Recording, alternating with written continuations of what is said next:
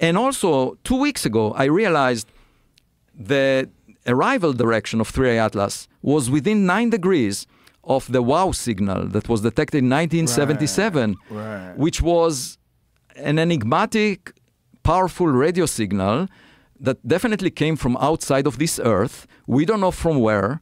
It was coming from a source that was approaching the sun. And the chance of it aligning with the arrival direction of 3I Atlas is 0.6%.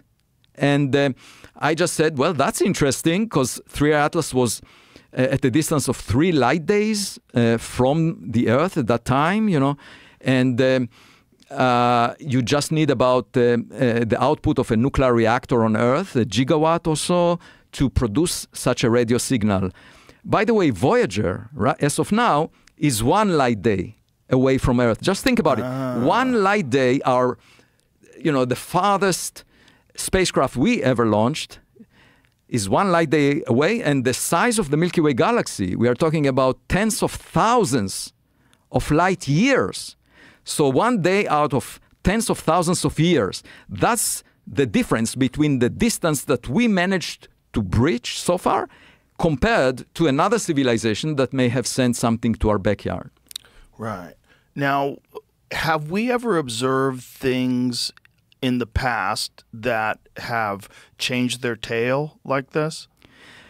So there are from fake a jet to a tail. This is called an anti-tail when it's pointing towards the sun. Mm-hmm. There were optical illusions in a situation where, you know, the, there is a tail which is pushed away from the sun by uh, radiation and solar wind, Mm-hmm. but you're observing it as the Earth goes through the orbital plane of, of, of, of this uh, object, of this comet, and you are seeing it from a perspective that it looks as if the tail is pointed at the sun, but in fact it's it's just a perspective thing. It's an optical illusion, and there were cases like that. That that was seen, but as far as I know, none seen in a situation where it's clear. And in 3I Atlas, it was very far from the sun and Earth, and we saw it towards the sun. There cannot be an optical illusion under these circumstances because it was approaching both the Earth and the sun roughly at the same direction. So I'm not aware of another. But most importantly, you should look at the response of the comet expert community to that anomaly. They say, well, comets are strange. We don't know. Maybe it's um, these are dust particles that are very big, so they don't get pushed back much. But then, how do you scatter sunlight? Usually, you need particles that have a size of the order of the wavelength of the light that is being scattered. That's the most efficient process. And when you have dust particles, the ones that have you know, sub micrometer uh, dimensions are dominating the scattering of sunlight. So why, in this case, you will have only big ones that are not getting pushed back? It could be fragments of ice that are scattering the sunlight that have nothing to do with dust, but those fragments of ice get get evaporated, and so they don't have enough time to turn back. You know, I wrote two papers on that trying to explain it.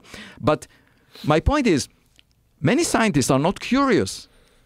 You, you would find it surprising. Why are they not curious? Why are they not willing to consider alternative explanations to what is commonly thought? And it's because they're afraid of taking any risk, you know. And uh, I came from a background where I worked in cosmology, trying to figure out puzzles. Like most of the matter in the universe is of a substance that we don't know what it is. You know, we, we call it dark matter. It's just to, to reflect our ignorance. You know, Nobel Prizes were awarded for people who quantified how much dark matter there is, how much dark energy there is. These are constituents whose nature is unknown. And just think about it giving a Nobel Prize to people who just said how ignorant we are. We don't know what these things are. Ordinary matter ma- makes just 5% of all the matter in the universe. And in this culture of cosmology, when, uh, you know, I worked in for three decades, um, it was, you know, completely common to propose ideas to explain anomalies. I mean, the dark matter is an anomaly. You don't know what it is. And people were rewarded for coming up with ideas, imaginative ideas that can be tested experimentally. That's the way you make progress. You don't know something. You are putting on the table possibilities, and then you motivate observers or experimentalists to figure out which one is the correct one. And that was the culture.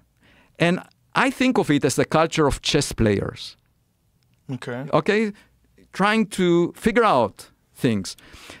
When I get to work on comets, you know, asteroids, these objects, and consider imaginative possibilities to explain their anomalies the way I did in the context of cosmology, I encounter, you know, a, a, a culture of mud wrestlers. Mud wrestlers. It's different from chess players. Right. Um, and you know, I don't want to mud wrestle. I don't want to get dirty. I don't respond to the. I learned my lesson with Oumuamua. I don't respond to those people because once we collect, I just want as much evidence as possible so that they would not be able to shove the anomalies under the carpet of traditional thinking. That's my motivation. Right. So I'm uh, inspiring a debate right now, and there is a huge interest in that debate so that we will collect as much data as possible so that by the end of the day we'll figure out what our dating partner is. If it happens to be a rock, you know, on the other side of the table, you go on a date and you see a rock, so be it. If it's something else, that has huge implications. Right. And therefore, we should consider that possibility seriously and just collect as much data as possible. What is it about your field in particular that you think motivates mudslinging? Like why why are they averse to risk and why do they not just why are they not just averse to risk, but why they are they attacking you for proposing what seems to me to be a reasonable alternative considering the possibilities given all the planets and stars that we know are out there? Well, I got a hint uh, for the answer to your question when I wrote the first paper on Oumuamua. Right. I suggested it might be technological, Right. and the paper got accepted for publication within three days, record. The reviewer said, This is a great idea because it's consistent with all the data we have. It's, it's most likely a flat object, and therefore it could be pushed by reflecting sunlight, which was my proposal. Then the media came to my door, and people started asking me a lot of questions. I got, you know, I, I- got well known. At that point, the attacks, the personal attacks started. So Right. it's, so uh, it's jealousy. jealousy. Yeah, it's je- jealousy.